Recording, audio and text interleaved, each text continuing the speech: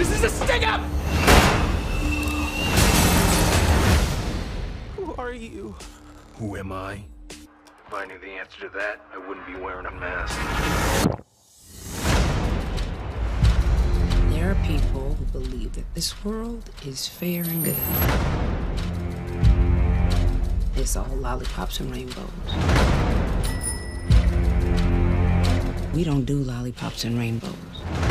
We know those are pretty colors that just hide what the world really is black and white. Soon thou shalt save us, and we will whisper, Come. We convinced ourselves that they were gone.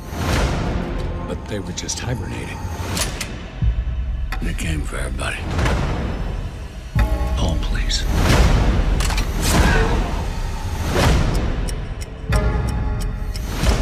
Coordinated simultaneous attacks at the homes of Tulsa PD. So the cops hide their faces, and now the bad guys don't know where they live. And who doesn't want a secret identity? Ta-da! People who wear masks are dangerous. We should be scared of them Why? because they're hiding something. Laurie Blake, FBI. You know how you can tell the difference between a masked cop and a vigilante? No. Me neither. There's a vast and insidious conspiracy at play. If I told you about it, your head would explode. Who are you?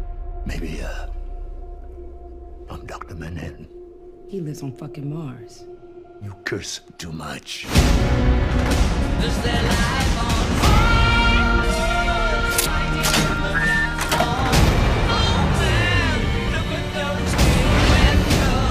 Oh, shit!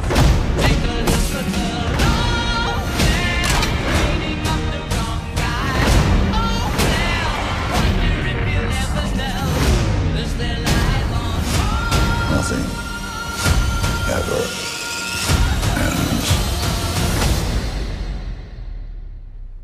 only just begun.